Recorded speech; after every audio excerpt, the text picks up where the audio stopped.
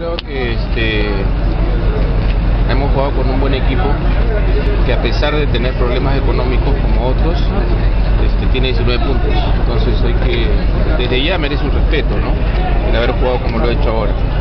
El que no ha visto el partido puede ser que piense que lo pasamos por arriba y no, no, no fue así. Jugamos bien, pero fue un triunfo elaborado, trabajado, porque jugamos bien. Así que seguimos respetando al Galvez como equipo y sé que Arce, que tiene pocas fechas, este, sabrá revertir esta situación. ¿Ha, ha to- ha tomado su tope de rendimiento Cristal luego de estas victorias contundentes que está teniendo en los últimos Mi semanas? idea es que nunca Cristal sea un producto terminado, que siempre tengan ustedes una crítica sana con respecto a algunas partes donde se puede se puede mejorar. Cuando un producto es terminado ya no tiene este, más ilusión, así que pienso que siempre hay fallas. Cuando ganamos por más goles yo veo más fallas. De repente cuando ganamos con lo justo no tengo ese prisma, pero cuando ganamos claramente veo gruesas fallas y, y las vamos a tener, ¿no? Hay- a veces las fallas no se solucionan totalmente.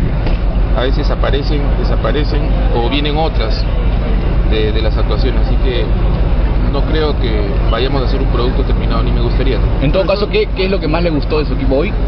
No, yo creo que hicimos una buena presión, no le permitimos eh, practicar lo que, lo que tenía armado el rival. A pesar de que el partido fue un poco trabado, por ahí no se presentaron tantas ocasiones, ya en el segundo tiempo se, se presentó una clara que por ahí la tiré por arriba, por más por ansioso, y el último pues que Irving me la toca para, para poder hacerla, ¿no? Pero se demoró, pero llegó tu, tu gol, ¿no?